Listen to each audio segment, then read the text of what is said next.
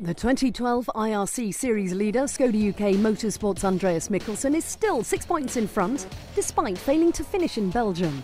There were six stages on day one, the loop of three repeated. On the opener, Mikkelsen and co-driver Ola Fløene were fastest. But they were cautious in the damp on stage two, dropping behind the Skoda of Juho Hänninen, and took no risks on stage three to reach service second overall. On the rerun, they were second after stage four, but down to fifth after stage five, having slipped off the asphalt into a ditch. They went second fastest through the final stage of the day, and the crew was up to fourth place overnight. There were 12 stages scheduled for day two, but not for the Skoda UK Fabia S2000. It picked up front suspension damage on the first run of the day.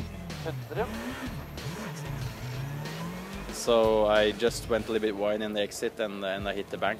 It's like 10, 20 miles per hour accident, you know, one of those really slow ones. But it was just enough to to take one of the one of the, the arms underneath the, the, the front left.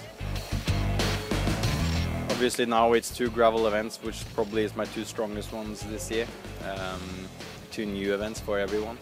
So the, definitely the aim there is to get out from those two rallies with 50 points and uh, yeah, I, am feeling comfortable on gravel and I can't wait to get back there. So I'm looking forward to that.